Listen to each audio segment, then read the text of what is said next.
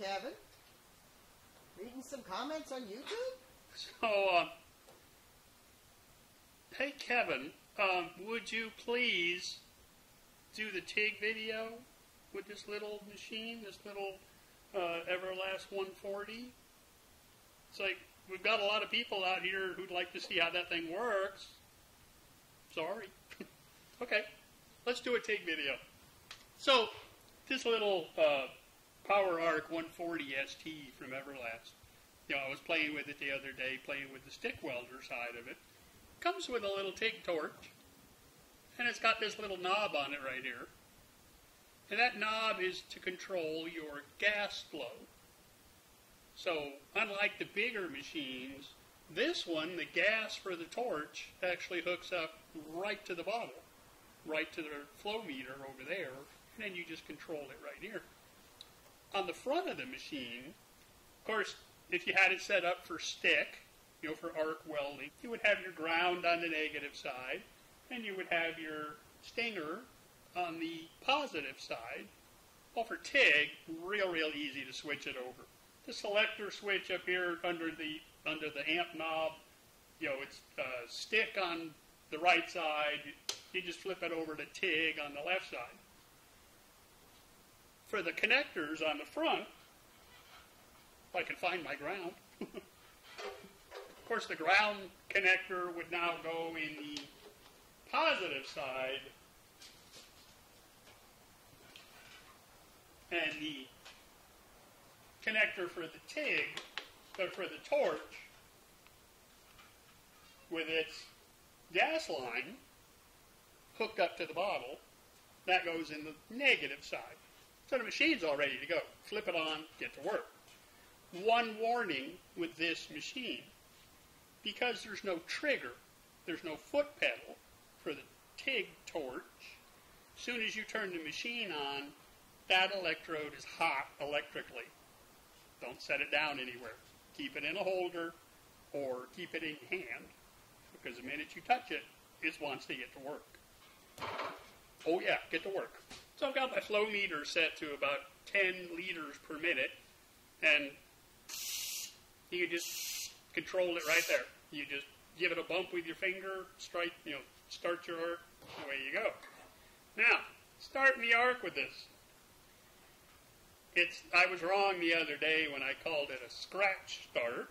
No, it's actually a lift start.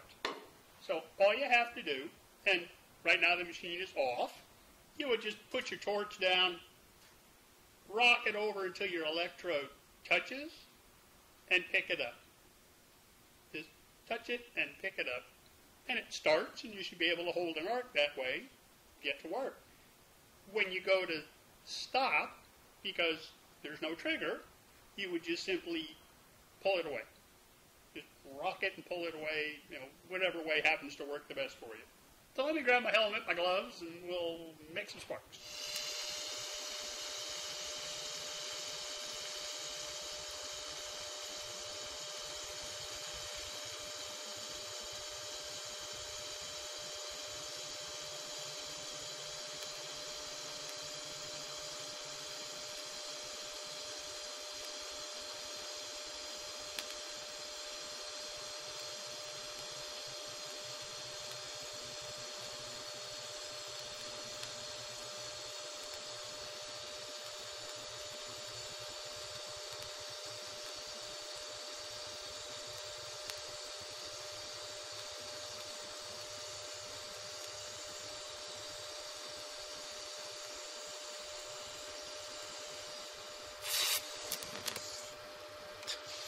So that little bobble right there at the end, my fault, sorry.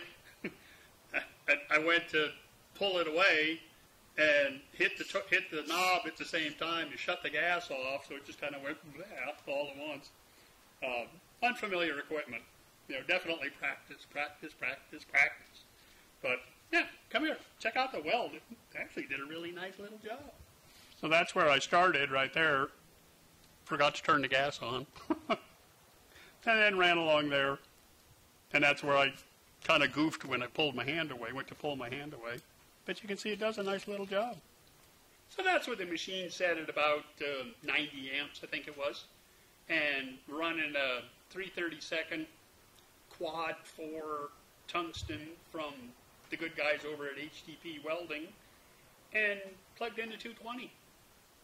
Working on a little piece of eighth inch plate I just pulled out of the scrap bucket, you know, clean up all the edges, clamp it down, or what have you. But boy, I can see a use for that little machine. Uh, you know, working outside, you know, with a stick welder or something. Boy, real easy. Just throw it on your shoulder like a big purse, and you know, drag an extension cord along with you. You're out there, you know, building a fence or something like that, and your work going from spot to spot to spot. You know, you couldn't really do it with the TIG simply because now you're dragging a bottle on the other shoulder. But yeah, a handy little machine. You know, I could see where where that would work for a lot of different purposes. So I'm going to play with this one some more. Uh, push it a little harder, I think. You know, see if we can see what we can actually make it do. And uh, you guys are going to reach right down there and hit that subscribe button for me. And don't forget to come back next week and see what I'm doing now. Thanks for watching, guys. We'll talk to you next time.